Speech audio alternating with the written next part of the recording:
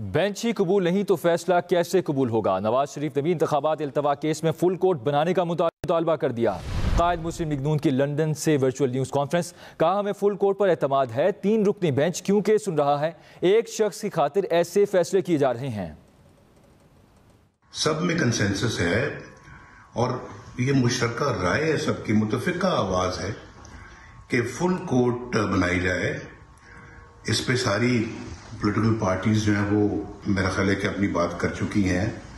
Government इस पर यकसू है। अटॉर्नी जनरल ऑफ़ पाकिस्तान ने कह दिया है जो पाकिस्तान के अंदर मेजोरिटी जो जजेस हैं उन्होंने भी आ, आ, मेरा ख्याल है कि कोई कसर नहीं छोड़ी।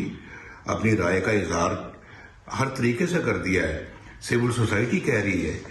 भाई तो फिर जब सबकी एक मुतफिका आवाज़ है तो फिर जिद क्यों है? किस बात की जिद है? क्यों इसरार किया जा रहा है कि ये तीन जजेस ही जो है वो बेंच पे रहेंगे?